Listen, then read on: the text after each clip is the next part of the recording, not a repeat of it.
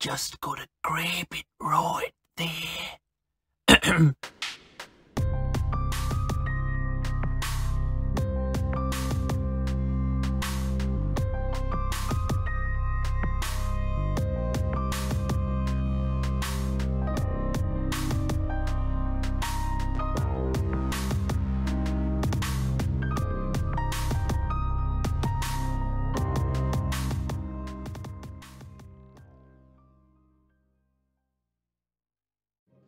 Today, we will be checking on the Wiseman Oracle after his shed, and I'm going to be helping him remove that little piece hanging from his lip.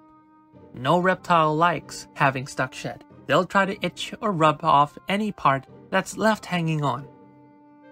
And this method is something I seriously do not recommend, due to how dangerously dumb it clearly can be. So why is he not biting me for this? Perhaps because I've always been doing this and he's grown accustomed to it. Or maybe because his perspective of myself, quote unquote, big tall man, as a safeguard, aka the butler, has been implanted in his brain.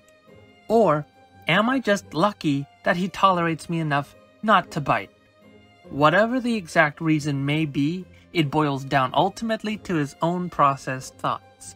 A mutual trust forms to some extent. Now I used to pin him and my other kings if they needed shedding assistance, but now for some individuals I just do it freehand. Aspire, Katie, and Omen will just often sit there while I work away. Behind every computer screen lies a hater now he's waiting for the right moment in this video for something to go wrong, and then he'll go WHAM! See, I told you that guy would get bit.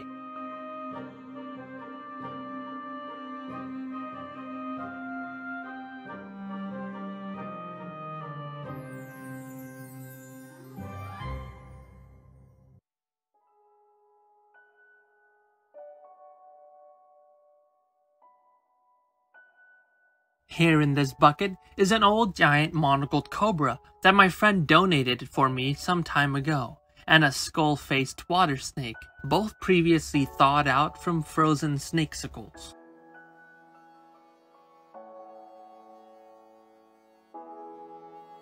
He rapidly tastes the air, realizing there is prey nearby. But is it dead or alive? He doesn't wait long to find out, snaps right away at the prey. So, ha! Take that, non-believers! Uh, I mean, the venom comes oozing out like melted butter. Slowing it down a bit, that's the last thing you want to imagine entering your bloodstream. People die the quickest from big king bites due to the sheer quantity of unknown substance entering one's bloodstream. I mean, sure, it's either this quick shock death or you wait a couple minutes to half an hour and the venom runs its course and takes you out anyway. Kings often take great caution when they take down other venomous snakes, especially elapids. So what you see here is he's going to be waiting a while to make sure that it's dead before he starts swallowing. So while we're waiting, let's go ahead and introduce Katie while bringing her out for a feeding session. Katie is one gentle, curious soul. Unless you're a snake, then use a dead man. It's been over five years since we found her on her deathbed in the jungles of central Thailand. The wound you see on her side was the product of battling with a huge clouded monitor she tried to eat. The monitor was too big, and she too weak and malnourished. She lost five bones in that surgery, but the vets saved her life. Since she was a central king, their population is dwindling. We gave her one more shot at life, but in captivity. There are other ways to preserve the species. Having her as an educational tool for the public is one way to do it, and she's worth much more alive to us as a wonderful ambassador as opposed to a wasted tragic death. However, I think the story of Katie should be told fully in a future video. For now, she's gonna eat up this water snake. Oh, what's this? She's taking a sniff at it. She's processing. Processing. Then knows for sure it's dead. Um, anytime now, Katie.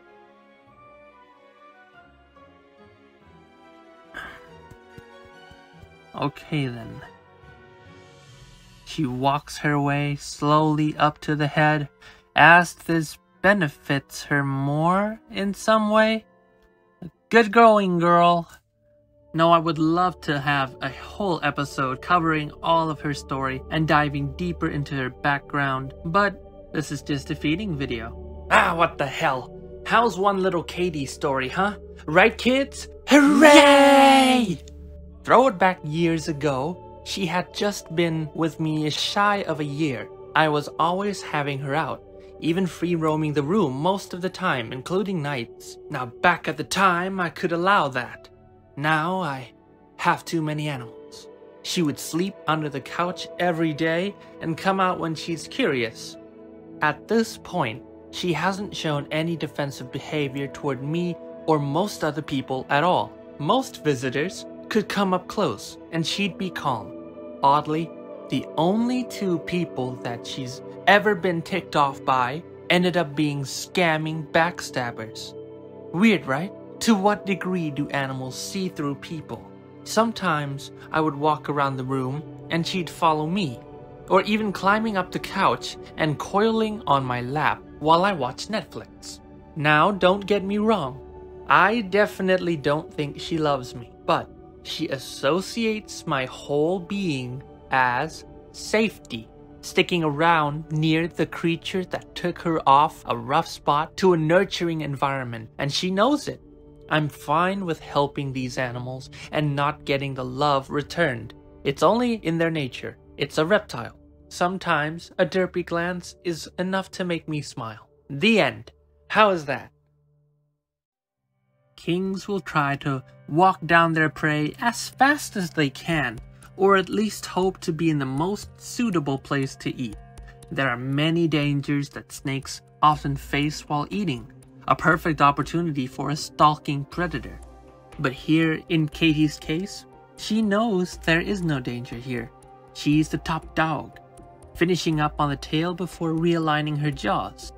She is almost 10 feet in length, and for this locality, this is quite the norm.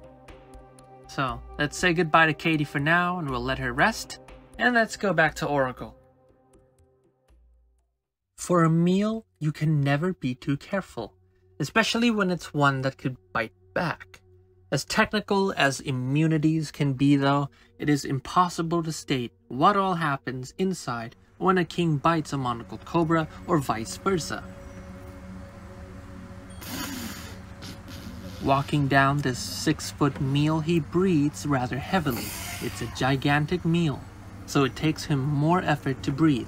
His breathing tube pokes out under his meal and expels air. Due to his sheer size, the blow is rather strong and often sounds like a giant growl. Back in the day, when no one had ever seen one such as this, you couldn't help but to call them an actual dragon, getting up to probably even 18 feet or more back then. Feeling one powerful breath after another is incredible. This is definitely a dragon of today. I also would like to address that little lump right behind his head. Not to worry, as it is just a growth called a lipoma. This type of fat tissue growth can be quite common for wild adult snakes. A few have grown here and there on him, and over the years, the vets assured me that they would not bother him in any way.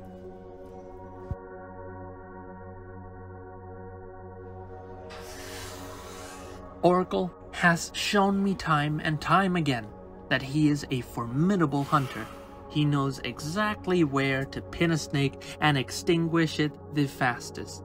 Nowadays, I don't ever have to give him life though since he takes frozen thought readily and supplies always here.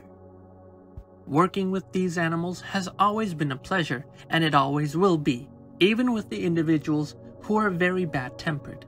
but trying to see yourself through the eyes of the snake is one giant step forward into understanding why they act the way they do, choosing whether to trust that we are a predator to them or just a harmless animal or plant slash surrounding surface, whatever it may be called. A line can be drawn depending on what type of snake we're talking about. But the only way you know where the line is, is when you cross it. There is a major juxtaposition comparing the level of how, let's say, mambas are able to perceive you to what a flowerpot snake may be thinking. Sadly, we can't get much deeper into the good stuff yet. Science knows very little about the reptilian brain, different depths of air quote emotions that may be swirling behind their googly eyes and puppy dog face. He realigns his jaw just a bit more and then he slowly sniffs, leans in, and whispers. You promised it was one feeder snake and 10 minutes of footage, no more. Now let me sleep and get the hell out of my house. Well, he's got me with that one. So thanks Oracle for having me over, and thank you guys so much for watching. I'll see you in the next one.